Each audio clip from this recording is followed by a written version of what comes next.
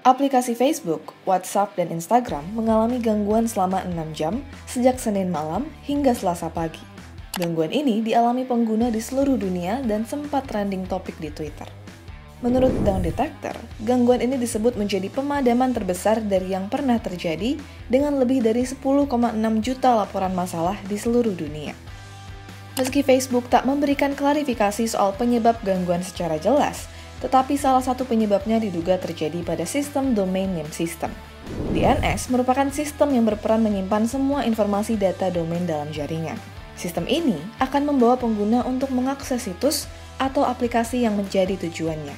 DNS milik Facebook, WhatsApp, dan Instagram ini tampak tidak berjalan sesuai dengan fungsinya. Tentu, gangguan ini jadi masalah besar bagi orang-orang yang mengandalkan WhatsApp untuk berkomunikasi.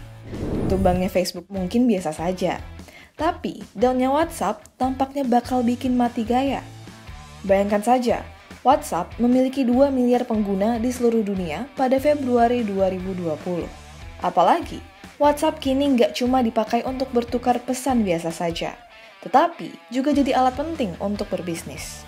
Pada Oktober 2020 lalu, WhatsApp mengklaim 175 juta orang di seluruh dunia menggunakan aplikasinya untuk mengirim pesan bisnis setiap hari. Hal itu dikarenakan WhatsApp mudah digunakan dan populer untuk banyak kalangan. Meski begitu, tak selamanya WhatsApp menjadi medium komunikasi paling tepat digunakan baik untuk bekerja atau berbisnis. Apalagi, WhatsApp memang diciptakan sebagai aplikasi perpesanan, bukan workspace layaknya email, Slack, dan sebagainya. Misalnya, Menggunakan WhatsApp untuk komunikasi bisnis malah mengaburkan batas antara kehidupan pribadi dan kehidupan kerja sehingga dinilai bisa mengurangi produktivitas ketimbang membantu pekerjaan.